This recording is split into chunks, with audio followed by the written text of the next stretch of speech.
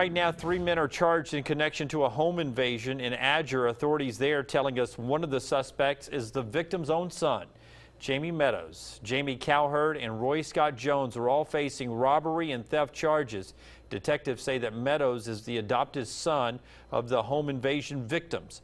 Jones still remains at large. The burglary happened at a home on Mud Creek Road back on May 19th. A couple was awakened from their sleep to find armed men forcing their way into that home. The suspects got away with guns, jewelry, and prescription medication. Police say they learned the identity of the suspects when one of them attempted to use the victim's credit cards at a gas station in Bessemer. The stolen property has still yet to be recovered.